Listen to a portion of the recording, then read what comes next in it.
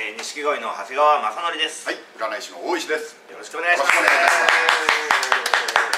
い、はいえー本日は占いワイドショー。はい、えー、ただいま、えー、ワイドショー、ワイドショー。ワイドショー、はい、本日はですね、えー感染拡大新型肺炎がどこまで広がるかを占う。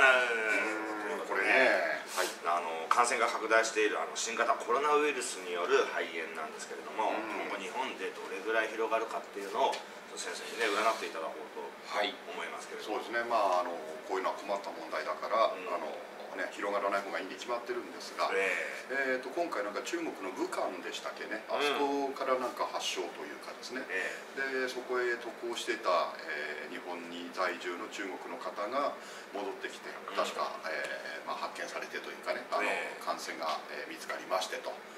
ということで、えーまだ今のところこう発見されたばっかりのウイルスなので、え確かあんまりこう、ねえー治療法というかですね、うんあのいい方対処方法がまだないというところで恐れられていると。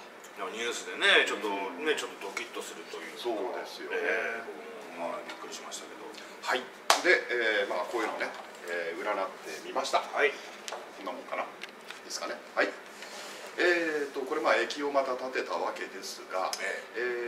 まあ、ウイルスによるその感染とかですね、まあえー病気、えー社会的なトラブルそういったものはこの「肝」という文字が表すわけなんですけれどもはい。これがどういうふうになるかなっていうふうにまあ液を立ててみたわけなんですが、ええ。ーまず一目でこう分かるようにあの普通はこの6段ある中に1個ぐらいしか出ないのになんか種類を変えて3つぐらいポンポンポンってこうやって出てしまってると。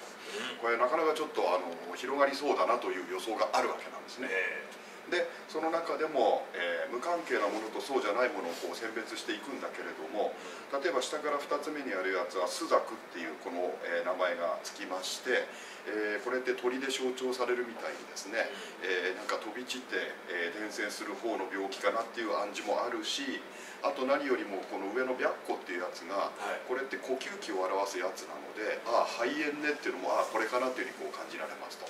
そうしますとね、えー、とこの下から2段目の方の牛っていうやつがちょうど1月が牛の月なんですよ。はい。ですから、えー牛月の間に確かに、えーちょっと拡散してしまうのではないかなという心配があります。でそれはただし、えーいわゆる豆まき、えーえー節分までですので2月以降になったところでは、えー比較的沈静化してくるんだろうなっていうふうに考えられる。とですからあの、まあ、ちょうど、えー、と今日ねこの放映日26日ですけれども、ええ。ー、と昨日の25日が、えー旧暦のいわゆる元日なんですね、えー春節っていうふうに言いまして中国文化圏なんかの,、まあ、おめであのお正月になるわけなんですよ、はい。そうすると、えーこのぐらいのタイミングでちょうど、えー観光客が日本にどっと押し寄せたりする、ね、可能性が高いので、え。そうしますとドバッと広まる可能性もあるなということで。ですから、えーちょっと1月中は用心に越したことはないですがその後にねあのずっと年間を通じてとか春先までとかっていうのはないと思いますので、えー用心するのは豆まきまでというふうにちょっと考えていただいてよいのではないかなとこういうふうに思います。で、はいあのまあ、要は有効な治療法が発見されてないからとても恐ろしいですけれども、えーまあ、それほど過敏にねあの考えなくてもいいのではないかなと、まあ、素人がこんなこと言うと怒られるけども、えーまあ、あの用心に越したことはないけど、ね。あんまり過敏になるのもどうかなというところだと思います。はい。はい。えー皆さん手洗いうがい、ねうん。えーやってください。お気をつけて用心しましょう。はい、はい。ということでございます。ありがとうございました。はい